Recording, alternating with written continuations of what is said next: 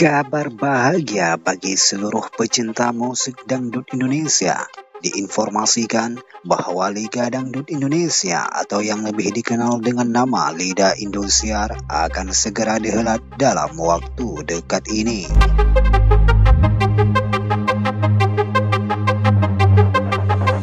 Seperti yang diketahui, Liga Dangdut Indonesia merupakan kontes paling bergengsi ajang pencarian bakat penyanyi dangdut Indonesia dari seluruh pelosok tanah air.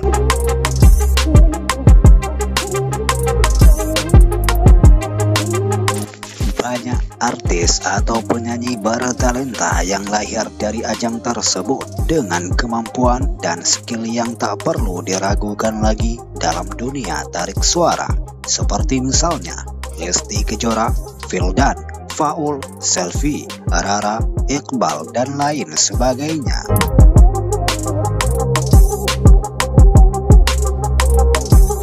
Tentu saja, ajang tersebut dengan peserta diasah langsung oleh para dewan juri yang telah malang melintang di dunia perdandutan seperti Inul Daratista, Soima, Nasar, Dewi Persik, Rita Sugiarto, dan beberapa dewan juri lainnya.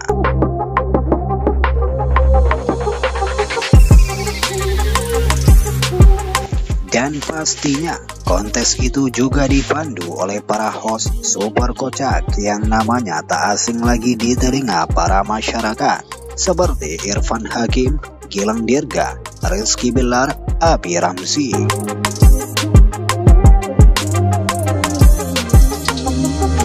Namun hal yang cukup mengagetkan publik adalah dikabarkan Rizky Bilar tidak lagi mengisi acara tersebut sebagai host.